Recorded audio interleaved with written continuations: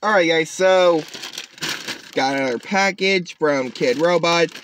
Ordered this last week and uh yes, I haven't done like a Kidrobot video in like since uh two months ago on the Deadpool riding a unicorn plush that I tagged my friend uh Jigpool in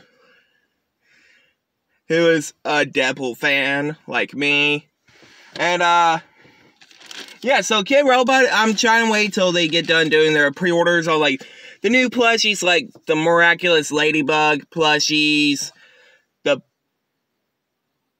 other ones too, like the Saw plushies and the Sam from Trick or Treat plushie that they still have on their pre-order. So yeah, uh, anyway, I'm going to get this out of the bag and see what I got. Actually, no, I'm gonna pause the video for a second. So this is my third Harley Quinn plush. Uh, this is actually from Birds of Prey. Never saw the movie, never cared for it, to be honest. And, uh, I thought it was pretty cool, but I am going to use this in a plush video some point. So let's go ahead and get out of the bag.